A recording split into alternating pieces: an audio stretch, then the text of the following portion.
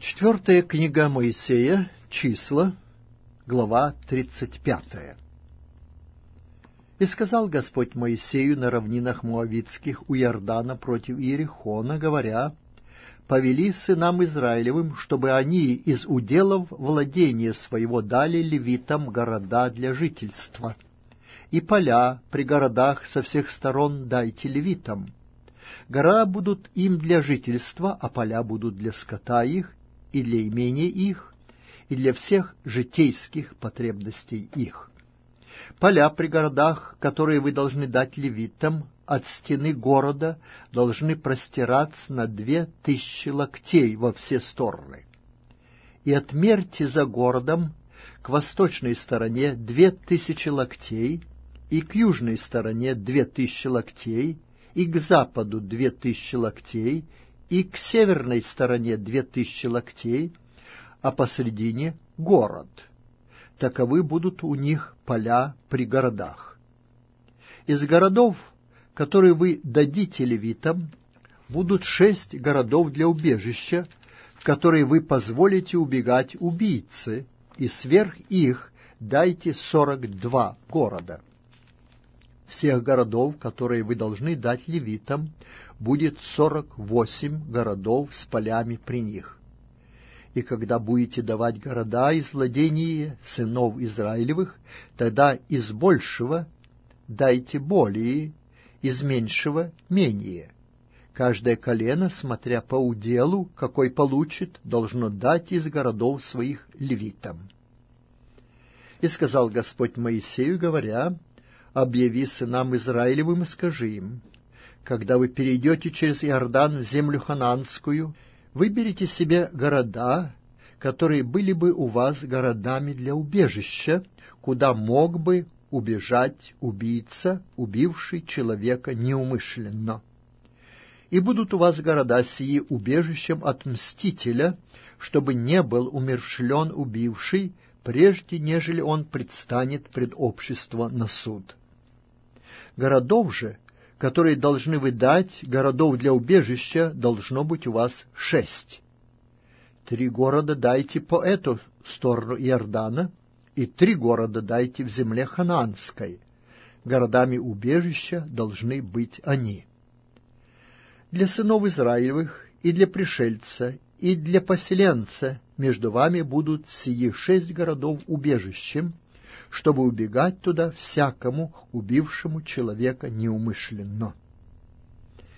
Если кто ударит кого железным орудием, так что тот умрет, то он убийца. Убийцу должно предать смерти. Если кто ударит кого из руки камнем, от которого можно умереть, так что тот умрет, то он убийца. Убийцу должно предать смерти или если деревянным орудием, от которого можно умереть, ударит из руки так, что тот умрет, то он убийца. Убийцу должно предать смерти. Мститель за кровь сам может умертвить убийцу, лишь только встретит его, сам может умертвить его. Если кто толкнет кого по ненависти или с умыслом бросит на него что-нибудь так, что тот умрет, или по вражде ударит его рукою так, что тот умрет, то ударившего должно предать смерти. Он убийца. Мститель за кровь может умертвить убийцу, лишь только встретит его. Если же он толкнет его нечаянно, без вражды, или бросит на него что-нибудь без умысла, или какой-нибудь камень, от которого можно умереть, не видя, уронит на него, так что тот умрет, то он не был врагом его и не желал ему зла, то общество должно рассудить между убийцей и мстителем за кровь по сим постановлениям.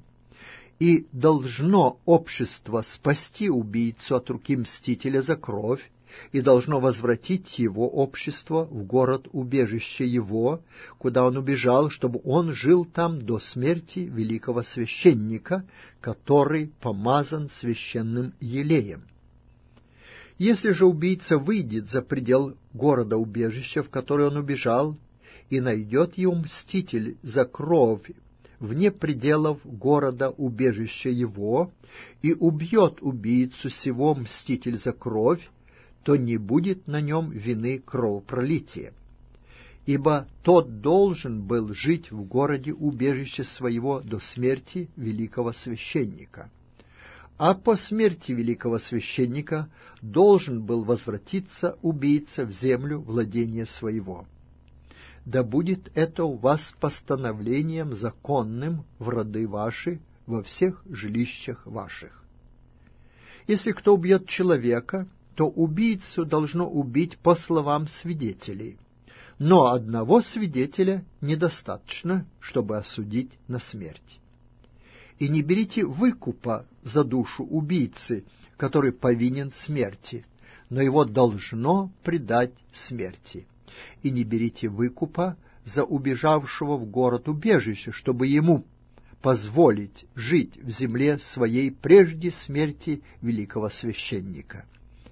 Не оскверняйте земли, на которой вы будете жить, ибо кровь оскверняет землю, и земля не иначе очищается от пролитой на ней крови, как кровью пролившего ее не должно осквернять землю, на которой вы живете, среди которой обитаю я, ибо я, Господь, обитаю среди сынов Израилевых.